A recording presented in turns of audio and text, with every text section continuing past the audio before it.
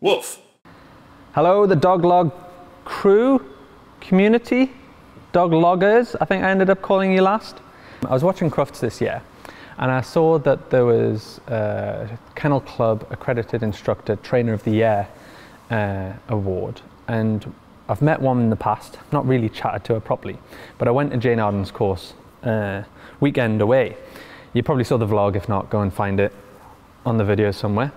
And then I, um, I saw that it was somebody different and I thought I'd just get in touch. And the person is Barry Harris. And Barry was kind enough to say, yeah, come on down and let's have a bit of a chat. And I thought it would be a great opportunity for those out there who kind of are starting out to talk to somebody who's been doing this for a while and has essentially got to the top of his game um, and become the trainer of the year. Um, so thank you very much for your time today, Barry. No problem at all. Um, I just wanted to start off by asking you a little bit about where did your journey start? What was your first kind of introduction to dog training? Not really just dogs, but you can talk Yeah. about your first dog if you want. Well, my, my very first dog was um, was a little mongrel, um, and he was absolutely gorgeous. Fell in love with him. I was I must have been about six or seven. Oh, really? Uh, yeah. And it, was the family pet, um, my mum's got pictures of me, you know, putting leads on him and taking him out for walks and things like that. Um, from you know such a young age, so I really, really love dogs. Had dogs all our lives. Uh, always been interested in how how to train them. Um, and this, this poor little dog, it's quite a funny story. we, um, we got broken into and um, the burglars broke in and this dog was, you know, he was great with everyone. all they did was shoot him into the toilet while they robbed the house. This way, please. All right. okay, yeah. So off he went, uh, no hassle. And then they helped themselves to everything. But luckily next door's dog wasn't quite so friendly. so had to drop the microwave on the way. Fantastic. So that was sort of where my earliest memories really of, of Yeah. owning a dog um, came from. Then obviously growing up we've had uh, we had Rhodesian Ridgebacks, so great big dogs. Um, next door's dog was a Rhodesian Ridgeback. I think that's why my mum said, let's go Rhodesian Ridgeback. Stop the next burglars coming in. Burglars coming in. Um, and they were they were big, powerful dogs, um, which meant for, for someone as young as I was, um, it was quite difficult to, to walk um, those dogs. So I, I wanted to walk them. My mum was like, "Oh no, they're too big for you." Me and Harley met, and we got a bull mastiff. We said, "Let's contact, um, let's contact um, someone on the Kennel Club Good Citizen scheme." So we went and we, we did um, his puppy uh, classes um, with this big, big massive puppy. um, and we went to class, and What was the bull mastiff's name, by the way? it was Duke. Yeah, Duke, lovely big boy he was. Um, and um, it was let's take him to classes, let's get him training, so that Holly could obviously walk him as well as myself. Uh, it's all right for me being a big burly bloke and having this huge dog, um, but Holly being about eight stone. Stone dog. Yeah. Um, so it was like, let's get him trained, let's train him right. Mm-hmm. Um, so off we took him to, to puppy classes.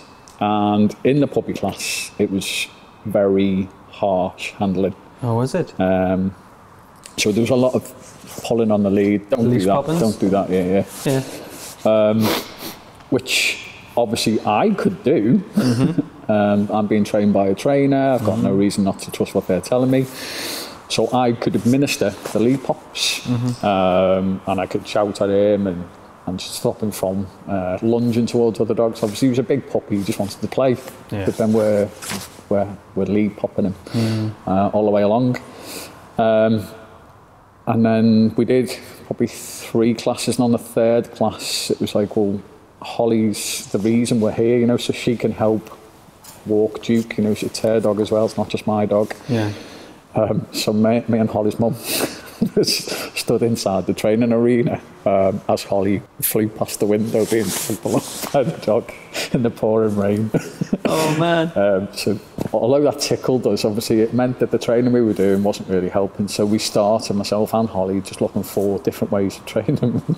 and then, weirdly, we started using food um, to help him. Um, because we got to a point where we were going down onto a beach and he, we were starting to become uh, reactive at all the dogs. Um, Probably through frustration. Absolutely, yeah. He couldn't. he was at the end of a lead. We couldn't let him off because his recall was going amiss. Uh, partly because he didn't want to be on the lead anymore. Um, and it got to the final straw where we, we took him down to the beach and we couldn't even get down to the sand, um, which was only a slope. um, because this dog was pulling us, he's, he's lunging out at dogs, he's barking, and we turned around and came away from the beach. So we were no longer enjoying having our dog.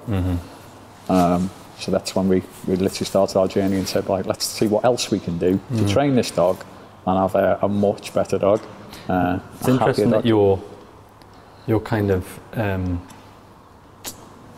final uh, sort of point of going, we need to do something about this, kind of Yeah. set you towards, you know, a reward-based training Absolutely. line. Yeah. Um, and it's interesting that that's what the trainers were like at the time, and it's Yes. the people who are doing the classes have the knowledge Yeah. and so it's for the, the clients to kind of trust them in the way that they're, they're teaching that you just kind of go okay you know That's you're exactly right. You know, who, who's I to say, well, this person teaching me is completely wrong? Yeah. Um, they're the one with the accreditations. Uh, they're the ones running the training classes. They're the ones teaching all these dogs, and we've been recommended. Oh, go to so and so. They'll help you uh, with, work with your dog. So I'm taking somebody's opinion and going, yeah, okay, and then finding out that it wasn't really working for us. Um, it might well work for a lot of other dogs, but for us, it wasn't really working. Um, big burly bloke, I can I can yank him, but then Holly couldn't. Know, She couldn't administer that same punishment. Um, so what was your first dabble into kind of training alternatively I think it was probably the lead work, the lead work, you know, getting him to walk nicely on the lead. Yeah. You know, big old dog, let's get him walking nicely on the lead. Although I'd take the credit for it, it was probably Holly that found the book or found, you know, somebody else's way of training. because she was the one that really wanted to walk a dog though Women are much smarter than men as well. yeah there's, there's a reason that a lot of the best dog trainers out there are women That's right, yeah. Uh, yeah not today though. not today lads eh Dale lads lads. Um, so yeah, uh, obviously Holly wanted to, to be able to walk this dog, um, and using food was a great idea. And then we, we started teaching him tricks, and this is a, what was probably getting on now for about a 15 stone bull mastiff. Um, and we did, I think we did some videos of him closing the door on cue. Yeah. Um, which he, and he's a 15 stone mastiff. He didn't close it quietly. he just bang, shut the door. reward me it, I've done it. I've done it. Um, so things like speaking on cue as well. Um, so if I was out at work and someone was at the door, Holly could just ask him to speak, uh, and you've got this dog going. Whoever's on the other side are probably thinking, oh, "I won't push me way past this lady," or you know, just in case. Yeah, yeah, yeah. So he kept it safe, but little did they know it was just a trick. Yeah, This- yeah, this just dog, chatting. This 15 stone mastiff like the softest thing in the world, but they didn't know that. chest capacity Yeah. to scare anybody. That's it. And he was fantastic, and people saw our videos um, or saw the dog, um, saw us walking down the street with him and going, "Oh my God, he walks so nice." Um, and I had that's really where our training journey started. You know, people were getting in touch and saying, "I could do with some help." You know, with my dog, and he's a bull mastiff or he's a German shepherd, um, and that's probably where. Yeah. We got bitten by the bug, both of us. I think that's it, isn't it? Yeah. You do get kind of Yeah.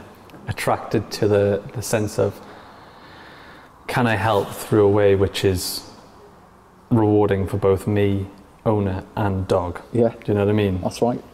And I don't think even people who uh, who do administer punishment, I don't think at the end of the day that that's something they want to do anyway. You know, they don't go out to get a dog and go, well, you're going to be my subservient. You're going to do exactly what I say.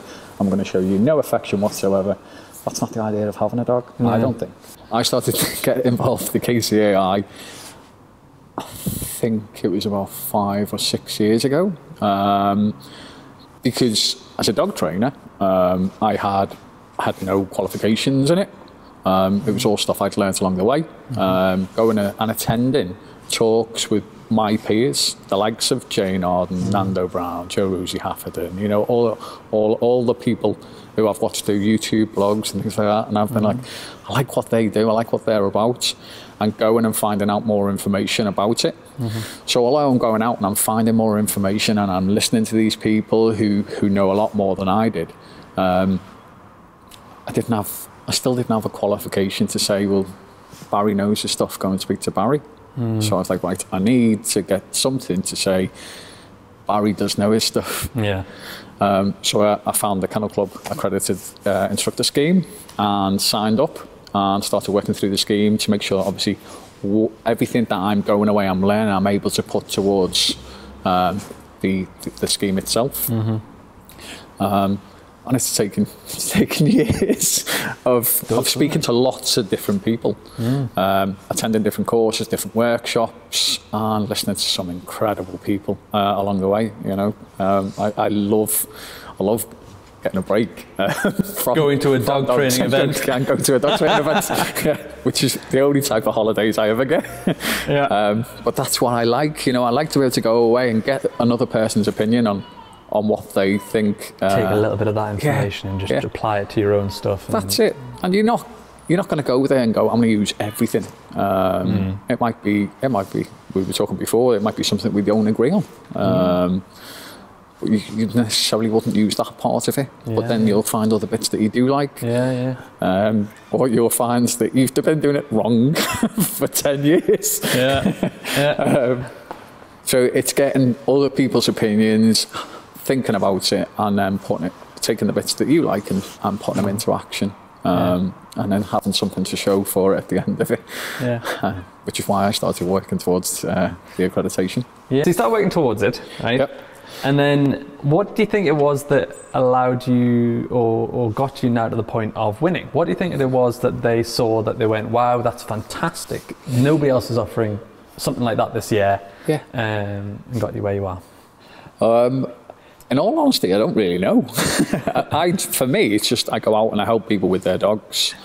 Um, it's great that my clients have then put me forward for the award. Um, they have to talk about what kind of difference I've made to them, or their dogs, or their lives with their dogs. Um, and some of that might be, you know, I've saved a dog that maybe was on last chance saloon, if you like. Um, And I've done that with quite a few dogs. Um, the work I've done with rescue dogs and the people who, who run the rescues, you know, who've said, you know what, he's, he's always got time to come and sort of say, let's do, let's, let's see what Barry can do with this dog, you know. The- um, some people have thought it's never going to find a home, and then that dog's gone on to find a home and live a happy life, and they've put, put me forward for for nominations. Um, Proper warm feelings, isn't it? It's right in the it's- fields. It's, like really, but that's, I suppose that's what I was wondering about, and the fact that it's Yeah. not just, um, it's not just that you're a daycare where people just drop your dogs off and you just leave them to do what they want. No. You clearly are grafting yes, with the dogs that come here, with dogs out, and then rescue dogs, and kind of yeah. So you're seeing it all. I think Mm-hmm. Yes. that's clearly what it is. Is that a cross section of people have gone? Do you know what? There's there's, there's more, he's more than just a one trick pony. that's it. And it, for me, it's not. I, I love I love tricks. You know, my dogs can't do tricks. I've got Holly's dog can, my dogs can't do tricks. And then I look at some people, you know, training their trick dogs. I'm like, that's fantastic. You know, Yeah, yeah. Why why does this appeal to somebody else? Uh, you know, my dogs don't do any tricks. They don't do anything, anything fancy. And I'm watching some other people's videos and going, that's brilliant. I like Yeah. that. That's really good. But yeah, I- all I'm doing is I'm going out and I'm just helping people have better dogs. But that's the groundwork. That's the that's, foundation, isn't that's it? it. Then they can go out and do tricks. but not with me because I can't teach it. um, but everything is essentially a trick. Yeah.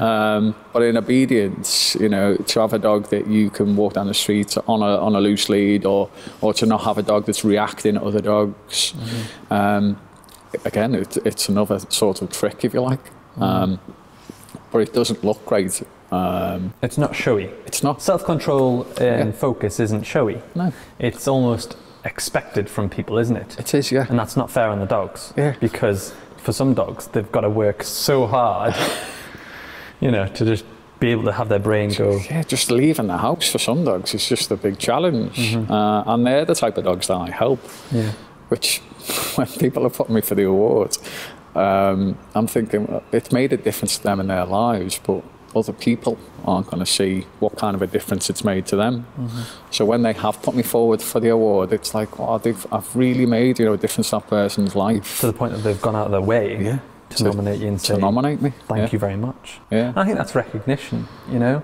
And this industry, whilst it's not uh, regulated in a way that kind of um, sets people up great to start off with, I think it also lacks recognition Yeah. um, of when somebody's been doing something good and when somebody's actually um, been helping other people and their dogs. Um, and so it's great that there's a, a, a case like this, or like with the Kennel Club uh, Dog Train the Air, to kind of go, yeah, do you know what? Strive for that. Which leads me on to asking, for those that are starting out right at the beginning, what are some of your top tips of kind of going, you want to train dogs, you want, you know, and I think on this channel people know that it's it's reward based and we're not looking at punishment based stuff. What are some of your top tips uh, for somebody who's starting out to thinking I'd love one day to be trainer of the year? Um, do, do lots of research into the type of training that you want to do. Um, obviously, we, we're all about promoting positive dog training. Yeah, So find the people that are promoting that side of things. Um, not just because it's my opinion or your opinion, um, but if you if you train a dog uh, using rewards, the dog learns a lot faster. Um, you have a better bond with your dog. There's no fallout from it. Um, and I think it's very easy to see maybe some guys on TV um, and the way that they work to try and copy um, the training that they're doing. Going, well, that guy's fixed the dog. Um, yeah. with what looks like five minutes of Yes. TV footage that's it. that Uh, might have been edited down and yeah, the and, rest of it. you know, dog training isn't it isn't a five minute process. It's not. Let's sit down and do this, and then we'll have a trained dog uh, Yeah. once we finished our coffee. Yeah. it requires a lot more work, um, and, and it's not always seen on TV. Uh, I think probably the best tip for me was um, watch the dog. Watch the dog that's being trained. Um, it, does the dog look like it's enjoying it? Is it, you know, big gaping smiley, smiley face, or is it sort of, you know, looking a bit worried towards the owner uh, Yeah. or the trainer? Yeah. Um, watch it with the sound down was another one. Yeah. Yeah, Take the sound off take the the body. Don't language. listen. Don't listen to the uh, the person training the dog. Watch the dog, yeah. uh, and that'll give you a, a good tip into what kind of training they're doing with the dogs. Yeah. Uh, and you know, find videos you like. Um, Yeah. do, do your research into into, into the, the positive dog world of, of the trainers out there that are promoting positive dog training and see the stuff that they're actually doing with their dogs. You know, they can do the fancy tricks, but they've also got uh, obedient dogs that, you know, aren't going out and, and running uh, after other dogs, that mm-hmm. kind of thing. things, because they're putting the work, the work in for the recalls or they're mm-hmm. loosely walking or, you know, they're teaching the tricks, they're teaching scent work, they're mm-hmm. fulfilling that dog's needs, mm. which is essentially what all, all dog training is about. Um, you know, we all want a happy dog, um, but we're all leading busy, busy, busy lives. And for members of the public, it can be an hour that they might spend with their dog. And that's, that sounds like me saying, oh yeah, an hour. Everyone spends more than an hour. And they don't. They work, they get up, they feed the kids, they take the kids to school, they then go out and do a full-time job. They come home in the evening, have something to eat, take the dog for, out for an hour's walk. If it is an hour, sometimes it's not. And then they come down, they go, well, we've done our bit for the dog uh, by taking them out for a walk. And uh, it's a bit sad when you think about it, yeah. Yeah. So fulfill the dog's needs. Yeah. Yeah. Fi- Find it gets you excited about tra- dog training, and you go out and you'll speak to, uh, you'll you'll go to conferences. Um, you know, you'll sit in on workshops and go, "This is fantastic! I can't wait to get home and do this with my dog." Um, but it's not just a case of do, going to these conferences and doing things like that. It's about then coming back and doing it with your dog. uh, Just like with a dog, it doesn't take five minutes to learn. It doesn't. We've got to take ages kind of processing it, practicing it, getting better at it, and Yeah. then you know going out there. Yeah. and then things don't work and we can get easily frustrated when things aren't working um, but then it's it's take a step back think about why it's not working um, do something like filming it um, and looking back and going it's no wonder it's, not, it's all me it's all my fault Yeah, yeah, yeah. Which even, Usually the human's fault. even as a dog uh, KCI dog trainer of the year I get I make mistakes I get things wrong um, and I posted I posted a picture the other day. Um, I was away, so it's not my fault. um, but my dog, um, that I got from Jane Arden, KCI, dog trainer of the year 2016, her dogs. Um, I got one of her dogs, um, and he's he's, he's, he's got a crate at home because uh, I can't trust him outside of his crate if no one's around. Yeah. he, he finds stuff to chew. Um, and I got a, a book delivered by a, a good friend of mine, Tony Shelbourne, um, and she'd signed it for me and everything. so I was like, oh my God, yeah, I've got this book off Tony. Can't wait to get back from Hull and read this book. I get back and the book is in tatters. it's been shredded. Haven't you not by, by my cocker spaniel. So rather than hide it and say, well, "Oh, my dog's perfectly trained. I'm, I'm KCI dog trainer of the year, so I've got perfect dogs," I posted the picture of the, the ruined book, um, so that people see that you know it is easy to make mistakes, um, but by not getting frustrated, showing everyone the kind of mistakes that we can make, and showing that there is you know there is something else that you can do to go. Well, you know what? It's my fault for putting the book there. It wasn't my fault. You went there. No, no, I wasn't You went there. But that's it. It's like the it's easily done. it's like the Instagram problem. Um, Yes. You know that, that people's worlds are infinitely more perfect than yours. Whereas, actual fact, everybody's got their own gripes. Everybody's got their own sort of niggles and worries and stresses and, and then problems.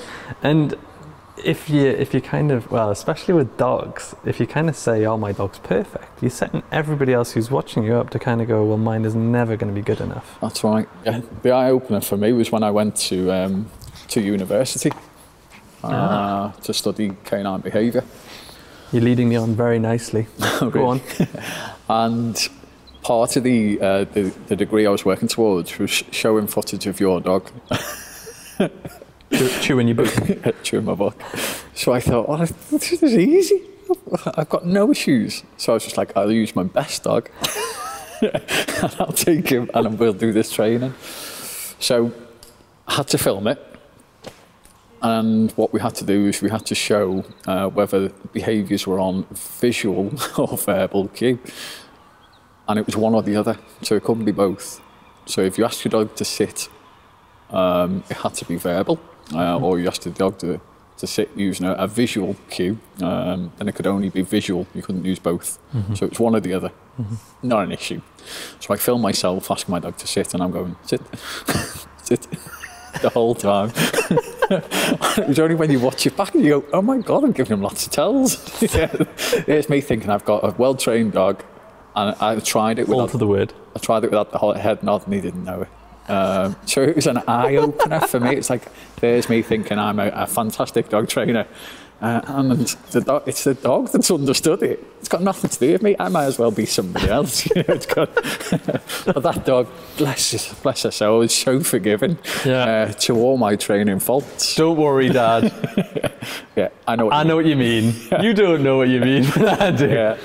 So your, your university degree, when did you decide to go to university and how has that been? What's, what's it been like kind of going and, and studying, essentially being a, uh, a trainer that's trained for a while, but then, Uh, for me, it was more. I enjoy learning. Uh, really enjoy learning. And it was like, well, what else can I do um, to show that I know what I'm talking about? You know, I, I need to learn from people uh, that are my peers, um, but I also need to be able to go, well, this is what I've done uh, without everybody else's help. I've gone off and I've taken the time out to, to try and educate myself uh, further. So that not only do I understand how to train a dog, but I understand how a dog thinks, why it thinks the way it thinks. Um, so I'm able, better able to help that dog. Uh, and then obviously at the end of it, fingers crossed, I've got something to show for all my efforts as well. So I think for me, going, going to university has, has helped me see um, some of the things that I've done wrong over the years, um, pointing out my flaws.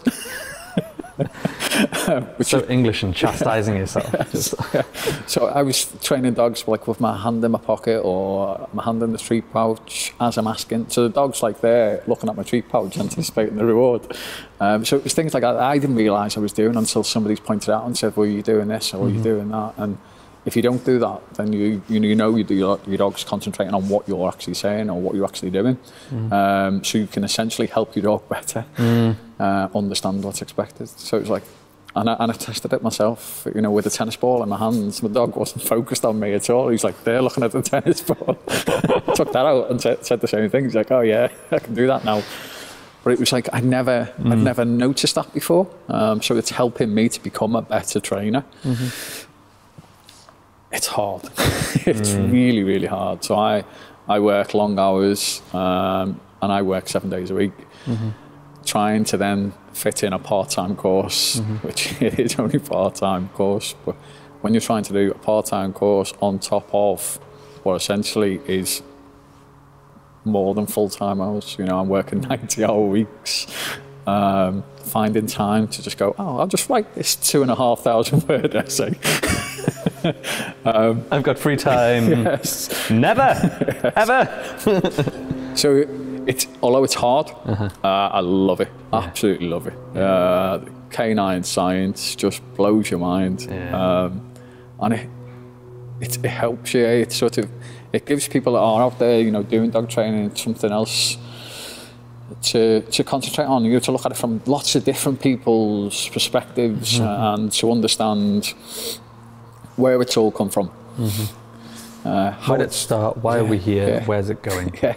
And I, I suppose that's something which I've kind of figured out that there's no end destination, No, there isn't. really. No. And that's infuriating for, for a lot of people who are dog trainers, especially science based dog trainers. We kind of um, we love definitive answers, Yeah. but like with the likes of further education, you, you, you, you're basically saying, I'm here to learn more, and then, and then I'm going to continue learning more, and now knowing how to learn more. Um, That's right. It's a journey that never ends. and in a way, that's awesome because then we can be 90 and we're still training dogs. Yeah, We're just doing armchair training Yeah. instead of you know being in a field. Bring the dog. We'll do, When ha- you- we'll do handling. when your knees are shot and you can't stand up anymore, it's like, bring me my slippers, boy. Mark. That's it. So massive congratulations for winning the Train of the Year. Thank you very much. Um, almost what's next for you now? You know, or yeah, first off, what's next for you? I don't think there's going to be a massive change to what I'm already doing. Uh, Keep doing it, but do it better. Yes, uh, essentially that's what it is. So a lot of my clients said, I hope the prices don't go up. Dog Train of the air, another zero. yeah. well, So for me, it's not, I, I haven't upped my prices yet. um, because if I did, then people who may not be, you know, uh, financially able to use uh, a, a dog trainer still have access to me. If I price them out the market, then that's unfair on, on, on those people. So for me, it is about helping people who've got difficulties with dogs. That's why I work with, you know, the rescue dogs. Um, you know, there's- there's a, there's a few in my area. There's uh, Whittle Animal Welfare, Saint Sled Dogs, um, Dogue de Bordeaux Rescue and Rehoming. Massive fans of the Dogue de Bordeaux breed to, to ourselves. Mm-hmm. Um, so being able to, to go out and give my time freely to help those people. Mm. Um, and now we've we've now taken on more staff so that the staff can manage the daycare side of it whilst I need to pop out and help a rescue dog or mm-hmm. or to collect one that's you know in urgent need of of rehoming um, but may have issues getting them out of the house that kind of thing so I'll go out and I'll give my time to help those dogs to help those people What's your opinion on the state of dog training, uh, sort of across the country? We'll just do the UK really, yeah um, and specifically why. I don't, I don't know if you found this one. You go to events, there's never a queue at the gents. yes You know, you go you go along, and it's it's ninety percent women and Yeah. it's ten percent men. yeah Sort of, what's the future of training and why is there a problem with men? I think um, I think there's there's more men coming into the positive side, uh, the reward-based dog training. Um, they're slower on the uptake, maybe, um, and going, oh right, that works. um, whereas it's it's been a slower process. Uh, men like to hang on, I believe, to the alpha pack leader mentality of dog training. Um, once they latch onto that, it's then very hard to let go. Um, we studied an- andragogy, uh, which is how adults learn. Um, and in that, it's like once they, w- w- once I mean, men and women, once they get an idea in their head, and then someone else comes along and says, everything you're teaching is wrong, it's very hard for them to go, okay, um, I'm going to look at, at that side. Whereas most of us just, no, I'm not listening then, and it's working for us. Um, so then don't explore anything other than the way they're currently doing it. And I think for dog trainers, um, we need to look at all aspects of dog training, not just positive dog training, but punishments as well, um, using force. Because if we don't understand that side of things, we can't then say, well, that's why I'm not doing that, um, because of the fallout from using punishment. If we don't understand that side of things, we can't then promote the positive side of things, which is an important aspect. Um, and I think when people see um, punishment-based dog trainers using punishments and getting immediate results, you know, this dog now walks loosely, but you you'll find later on that that dog, dog's recall goes out the window. So there's always a fall of the punishment, uh, which a lot of people don't see. Um, I, I believe women have a more nurturing nature. You know, they're, they're, um, in essence, their biology is made up to, to nurture children. So you, you say to that lady, you know, I want you to smack your dog. It, it goes against everything they, they've inherit, inherited. You know, this um, we need to love our children and look after them. Um, it goes against what they believe. Whereas men are much shorter fuses, um, much more vocal. You know, like to shout, show off their big, big manly voices. Uh, and then the dog listens, or at least they, they believe. And then women are led into a, um, an illusion that they need to be louder, they need to use more force to be able to get better control over their dogs. So when they hear about another approach, they go, well, I need to look at that because I can't do what that man's doing with that dog. So I need to find another avenue. Whereas for men, it's working um, to a point. uh, and then they, they just hang on to, they just hang on to that idea as this is this is the way to do it. So Uh, what's the what what can we do uh, to kind of shift the mentality of men? I think it is shifting. Um, there's a lot of great dog trainers coming through at the moment um, who are just starting out um, and promoting that positive side. Um, Liam Landemore, uh, Yeah. fantastic guy. Men on board. Yeah, men on board. He's, he's out there and he's promoting uh, getting men on board Mm-hmm. in the positive dog training, uh, which is a fantastic idea. Um, and the more people, the more men that do listen to that um, are going to be uh, better trainers. And in, in my case, uh, my partner Holly uh, is a positive, uh, not only dog trainer but a horse trainer, and she's got a s- much better brain than me. She absorbs the science things so much easier than I do. Yeah. So maybe there's a, a touch of in- intellectual intelligence there that I don't possess. um, so I have to read things seven, eight times before I understand it. Yeah, she'll read it and she'll say, "What's not sinking in?" Just got it. yeah, just got it like that. Um, so maybe there's that side of things as well. Maybe, Yeah, yeah. People maybe learn in different ways, Yeah. don't they? They do indeed. Some yeah. people learn by watching, some people Yeah. learn by reading, some people learn by doing. Uh, and so essentially, I think uh, the approach is important as well, how we kind of talk to people. And that's why dog trainers have to be teachers or have to be people, people. Yeah. You know, the people. Uh, It's, it's very rare that you go out and train somebody else's dog. you essentially show them how to train their dog. yeah. Um, but if you can't speak to them or on different levels, you know, you, you'll speak to solicitors and you'll speak to builders. Um, so you've got to be empathetic to all different um, situations that they're going through. Um, some people haven't got the time, um, so you have to find a way of finding them time through their day. Well, you know, you make a coffee surely throughout the day. Whilst you're making that coffee, do some dog training. Uh, essentially, I'm all ask, I'm asking for a minute of your life. yeah. um, and if you can explain it to them like that, um, they're, they're more likely to, to get involved and train um, in a more positive approach. um, just by finding them that extra bit of time in their day. Squeezing it into the busy life. in, yeah. But then the then the small things add up, don't Yes, yeah, absolutely. Um, Yeah, someone will say to me, I can't get my dog to sit and stay. Uh, but it's like you, you get up every every time to make a coffee, practice it then. yeah. Do 30 seconds. I'm not asking you to spend half an hour dog training. Uh, do it every time you make a coffee. You watch how quickly your dog learns to, to hold that position. Mm-hmm. Um, and then they they at the end of the week, they're saying to me, "Oh, my dog's doing a, a sit and stay for a minute. you know, he's waiting for the kettle to boil." But now you can't get up and go to the kitchen without the dog following you. Going, "Let's do some, let's do some dog training." I'm ready. Fascinating. Well, I feel like I've taken up plenty of your time. I think we were meant to only talk for about 15 minutes, and I think it's been, it's actually been 54 minutes. Uh, you see, I can't shut up once That's you start, insane. you start me talking about dogs. I've, I can't believe we've spoken for an hour. Um, yeah, but just thank you for your time today.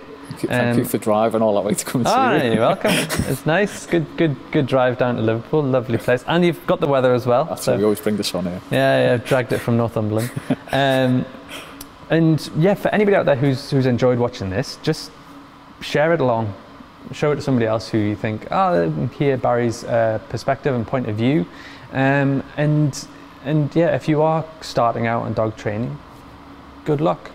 Have have a good sort of graft and, and work on. Um, I can't think of anything else I need to ask you at the moment. I probably will do as soon as I've left, but uh, I hope you have a good rest of your Good Friday I will. Thank you very much. and thank you for your time. Thank you.